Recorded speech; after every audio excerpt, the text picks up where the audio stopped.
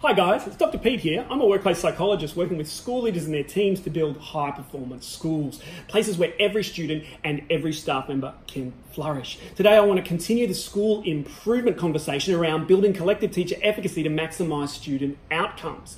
Collective teacher efficacy has an effect size of 1.57, so therefore it's the single largest predictor of student learning. Collective teacher efficacy, of course, is defined as the collective belief of teachers in their ability to positively impact upon student learning. So, how are we going to do it? We're going to move from theory to practice, do a quick case study of two teaching teams.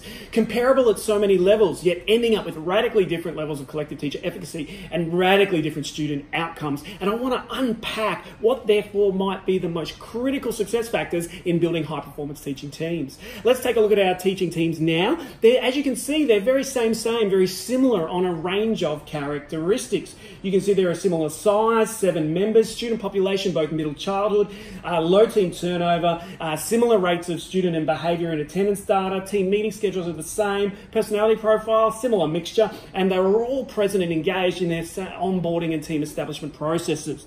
Yet if we jump forward and look to the end of 12 months, we can see some radically different outcomes. The first outcome that's quite different is their collective teacher efficacy levels, and the data on the screen showing you the splits between the semesters.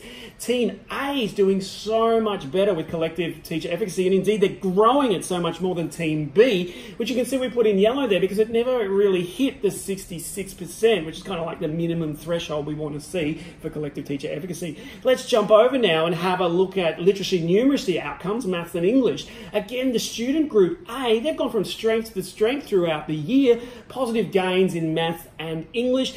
Student group B, on the other hand, they've gone backwards. You know, they've actually declined in the total number of students achieving C or greater grades throughout the course of the year. What's going on? To do that, we want to have a look underneath that in terms of the activity they've engaged in throughout the year, these teaching teams, and is there any difference in how they actually behaved as the course of the year went on? The answer, of course, is yes, there was, and you can see on the table now some pretty significant differences in whether or not they took up extra team time in the form of huddles, uh, the quality of their meeting process, whether they were proactively using their pulse and scorecard data properly, uh, the, the role of the team leader, range of issues that were different. This leads us to three key findings to consider about team time, activity quality, and team leadership.